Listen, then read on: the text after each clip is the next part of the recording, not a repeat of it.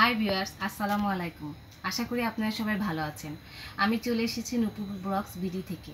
আজকে আপনাদের জন্য নিয়ে এসেছে সাবানের একটি শোপিস প্রতিদিন আমরা নেটের ফুলের শোপিস তৈরি করে দেখাই, কিন্তু আজকে ভিন্ন একটা শোপিস সেটা হচ্ছে সাবান দিয়ে তৈরি। গোসলের সাবান দিয়ে তৈরি একটি শোপিস এটি আমরা তৈরি করে দেখাবো। চলুন, এটি তৈরি করতে কি কি উপকরণ লাগে এবং কীভাবে এটি তৈরি করা যায়, ভিডিওটি সম্পূর্ণ দেখি। এটি তৈরি করতে আমাদের লাগবে কিছু পুঁতি, চিকন ফিতা। আমি এখানে দুইটা কালার ইউজ করেছি, গোলাপি এবং নীল। সাবান, একটি চুড়ি, পিন, এগুলোই। আর কেচি সুতা এগুলোই। চলুন, কীভাবে এই এই শোপিসটি তৈরি করা যায় সেটি আমরা দেখে নিই। আমরা লাক্স সাবান নিতে পারি, যে কোনো সাবান নিতে পারি, তবে এখানে আমি লাক্স সাবান নিয়েছি।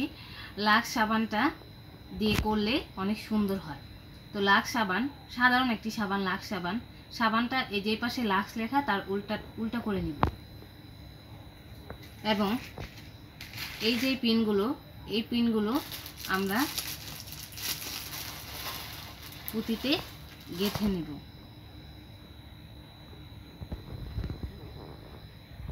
ঠিক এইভাবে করে গেঁথে নেব।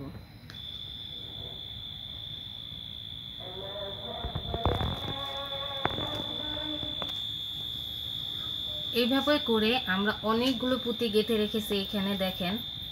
এইভাবে করে গেঁথে রেখেছি। এখন এগুলো আমরা একটি একটি করে সাবানে গাঁথবো। কীভাবে গাঁথবো সেটা আমরা দেখি। প্রথমে আমরা রাউন্ড করে একটি পিন দিয়ে ফুলের ঝুড়ির শেপে একটি দাগ দিয়ে নিব, যেখান দিয়ে আমরা পিন গাঁথবো। ঠিক নিচে, উপরে সেমভাবে অনুমান করে, একটু জাস্ট অনুমান করে রাউন্ড করে দাগ দিয়ে নেব ঝুড়ির মতো। সাবান দিয়েও শোপিস তৈরি করা যায়, অনেকে হয়তো এটা বিশ্বাসই করবেন না, কিন্তু সাবান দিয়েও শোপিস তৈরি করা সম্ভব। এখন আমরা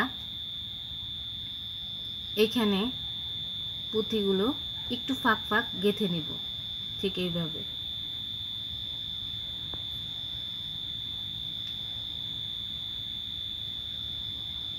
এইভাবে করে আমরা গেঁথে নিব। দাগের উপর দিয়ে একটু ফাঁক ফাঁক করে গেঁথে নেব।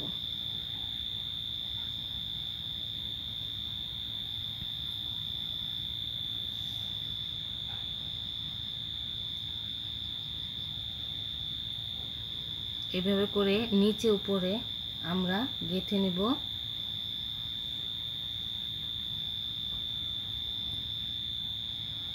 এবং সাইডেও ঠিক পুঁতিগুলা কীভাবে গাঁথবো, এইভাবে করে আমরা দাগ দিয়ে নিব ভি শেপের দাগ দিয়ে নিব। ভি শেপ করে দাগ দিয়ে নিব। সম্পূর্ণটা।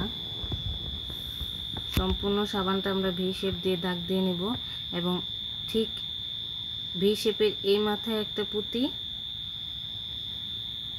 মাঝখানে একটা পুঁতি, আবার এই মাথায় একটা পুঁতি।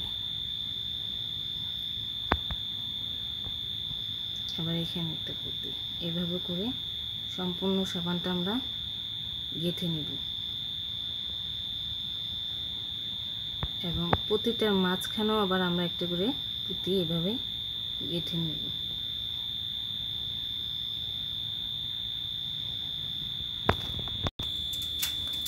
এখন আমরা দেখেন সম্পূর্ণটা এইভাবে পুঁতি দিয়ে গেঁথে নিয়েছি। এখন দেখতে একটু অদ্ভুত লাগল একটু পরে। সাবানের শোপিসটা সম্পূর্ণ তৈরি হলে অনেক সুন্দর লাগবে। এভাবে গাঁথার পরে এখন আমরা এটা ফিতাটা পেঁচাবো। প্রথমে আমরা গোলাপি কালার ফিতাটা নিব।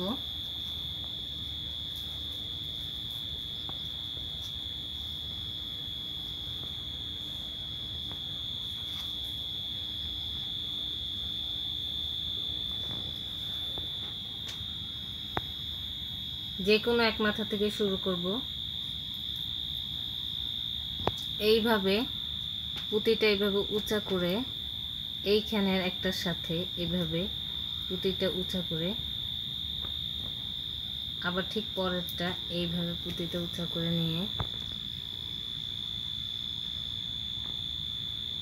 পরে আরেকটা পুঁতির সাথে এইভাবে করে আমরা সম্পূর্ণটা পেঁচিয়ে নেব।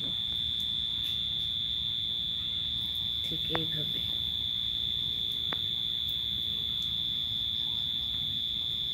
একটা একটা করে গেঁথে নেব এভাবে, একটা একটা করে মনে রাখবেন পুঁতিটা জানি ওপরের দিকে থাকে। এভাবে একটা একটা করে সম্পূর্ণটা এভাবে গেঁথে নেব। আমরা এভাবে গোলাপি কালার ফিতাটা সম্পূর্ণটা পেঁচিয়ে নিয়েছি। এখন ঠিক এইভাবে সেম এইখানে। আপনারা ইচ্ছা করলে একটা কালারও সম্পূর্ণটা ইউজ করতে পারেন, আবার দুইটা কালারও সম্পূর্ণটা ইউজ করতে পারবেন। সৌন্দর্যের জন্য আমরা এখানে দুইটা কালার ফিতা ইউজ করেছি। ঠিক এইভাবে গোলাপি কালারটা যেভাবে পেঁচিয়েছি, এইভাবে ঠিক এই পাশে নীল কালারটা আমরা পেঁচিয়ে নিব। আমরা এইভাবে নীল কালারটাও সম্পূর্ণভাবে পেঁচিয়ে নিয়েছি। গোলাপি কালার নীল কালার দুইটাই পেঁচানো হয়ে গেছে। এখন আমরা কিছু ফুল তৈরি করব। এখানে আমি অলরেডি তৈরি করে রেখেছি। এখন দেখাবো কীভাবে এগুলো তৈরি করেছি। এভাবে কিছু ফুল তৈরি করে নিব। চলুন দেখি। ফিতাটা এভাবে নিব। নিয়ে জাস্ট এভাবে করে পেঁচাবো। এটা অবশ্য আমরা অনেকে পারি। একবার এই পাশে, একবার এই পাশে। একবার এই পাশে, একবার এই পাশে।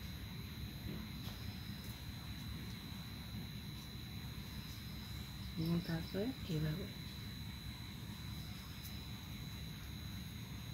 হয়ে গেল ফুল। এইভাবে করে একটা পিন দিয়ে এইভাবে করে গেঁথে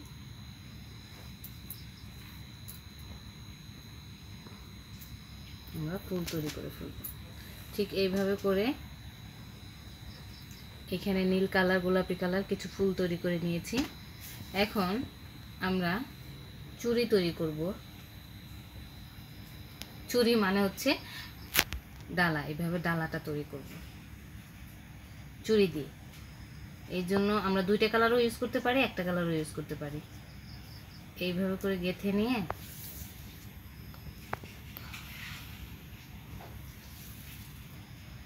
গিট্টুর মতো করে তুলে আমরা যেভাবে গিট্টু দেই, সেভাবে করে এইভাবে। আবার এইভাবে করে দিয়ে এইভাবে। দুইটা কালার দিলে দুইটা কালার একটা কালার দিলে একটা কালার এইভাবে করে গিট্টুর মতো করে আমরা এইভাবে করে এখানে চুড়িটাকে পেঁচিয়ে রেখেছি দেওয়ার জন্য। চলুন দেখি কীভাবে এটা সেটিং করব। এখন সেটিং করব। যেহেতু আমরা গোলাপি কালারটা উপরে রাখব, সেহেতু এখানে ফুলগুলো গেঁথে নেব। যে চুড়িটা এইভাবে বসাবো এবং দুই পাশে দুইটা পিন পিন নেব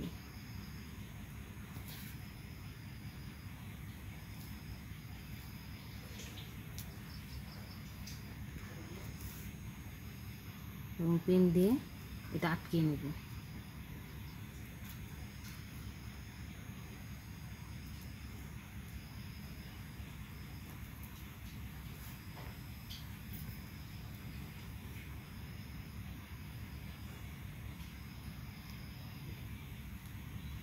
এভাবে এটা আমরা আটকে নিলাম।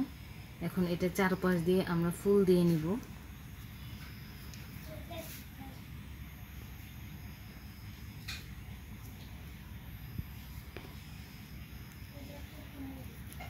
একটা একটা করে যে ফুলগুলো আমরা রেখেছিলাম, সেগুলো গেঁথে দেব। একটা গোলাপি, একটা নীল।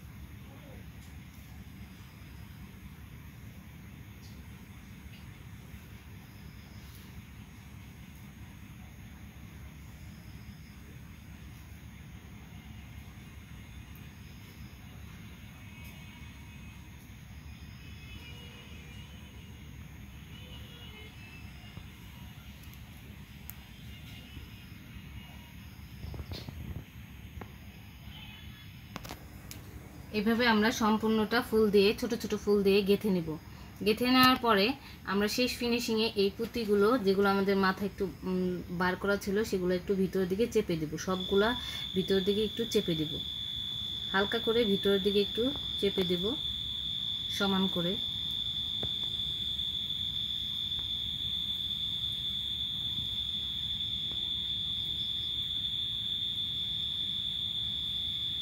দেবো। এইভাবে সম্পূর্ণটা আমরা চেপে চেপে দেওয়ার পর তৈরি হয়ে গেল আমাদের সাবান দিয়ে শোপিস দেখুন। এভাবে বিভিন্ন কালার দিয়ে আমরা সাবানে আরও ভিন্ন ভিন্ন শোপিস তৈরি করতে পারব। যদি আমার এই ভিডিওটি ভালো লেগে থাকে এবং নতুন ভিডিও দেখতে চান, তাহলে অবশ্যই আমার চ্যানেলটি সাবস্ক্রাইব করবেন এবং পাশে থাকা বেল আইকনটি ক্লিক করবেন। ভিডিওটি ভালো লেগে থাকলে বেশি বেশি করে কমেন্টস করবেন এবং শেয়ার করবেন। আল্লাহ হাফেজ।